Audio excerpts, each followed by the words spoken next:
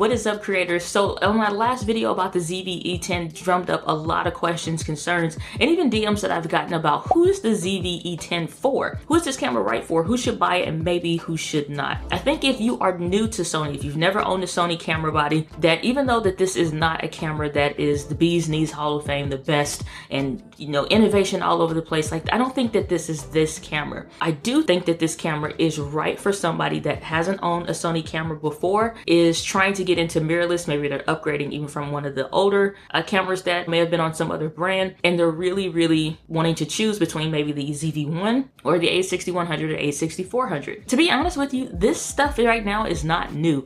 All of the grumblings, all of the frustrations, and even some of how Sony is kind of starting to brand it. They had an announcement that was going to come out a couple weeks ago in July, but now they were like, oh, it's delayed, usually due to this global chip shortage. Same with the A7 IV. But we've seen this before if you've been around for a while. When the A64 came out and was announced in February of 2019, nobody was happy about it. Sony A6400.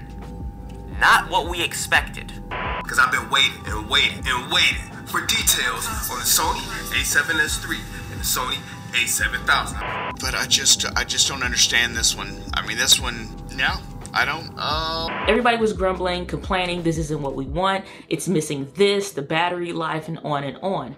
Fast forward, some of all of those people that were saying something about it bought it, tried it, loved it, and used it for a time before upgrading to the next and latest greatest thing. Now we're seeing this happen again with the ZV-E10 that's about to drop that kind of is an upgrade and upgrade, I use that term loosely, and is a mix between the ZV-1 features and the A7C and a little bit of the A6600 as well. And we also have the A7 IV that has rumors that are starting to circulate, but will probably get delayed as well. However, I think the Z ZV-E10 is going to be a much better offering than the A6400 because there are a couple things that we've not seen before in the Sony lineup of cameras, uh, just anywhere, where that is the digital stabilization that we have access to in the, the ZV-1 coupled with something like your 10 to 18 lens that has the optical steady shot built in or that OSS on the lens. So being able to take a lens like this, this 10 to 18, the vlogger's lens that everybody loves because it can get super wide, and couple that with the digital stabilization from the active or even the standard, which is uh, a little less stable, and then all, also having access to the Sony Catalyst browse system so it has like the gyro information or what have you. All of that stuff was already in the ZV-1, so I think it's a good chance we're going to see that in this E10. And so I'm looking at coupling that with something like the 10 to 18 and really getting probably some of the best Sony stabilization that we've had. Because to be honest, it's not that great with the sensors like on the A6600 or A6500 even.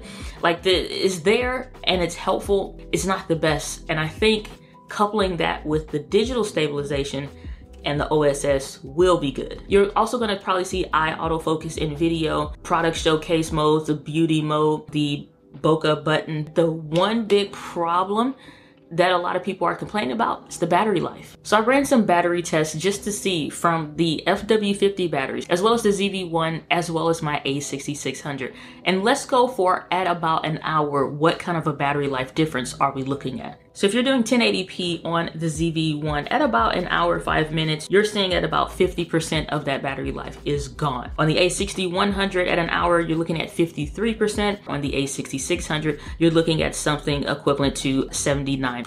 At this next mark is where you're seeing the most significant difference in the battery life. On the ZV-1, we're looking at the battery limit is completely exhausted, so it literally is turning off at this point. On the A6100, we're looking at 15 15% of the battery life remains, and on the A6600, 64% of the battery life is still remaining. So the reason why I'm comparing all three of these batteries, because this ZV-E10 is kind of a mix between all three. And I think it makes sense to look at what kind of performance comparative to the other ones are we looking at. They're pretty much almost performing pretty close, almost neck and neck. That 15% goes by really, really quickly on that FW50 battery. And at that point, you're popping it out, switching it out anyway. But the saving grace with any of the Sony cameras is going to be that internal USB charging. So until you've actively used one of these cameras, then the battery life complaints, you start to see how that kind of trades off. I would love to see the Z battery added to this camera. I just don't think we're going to see that.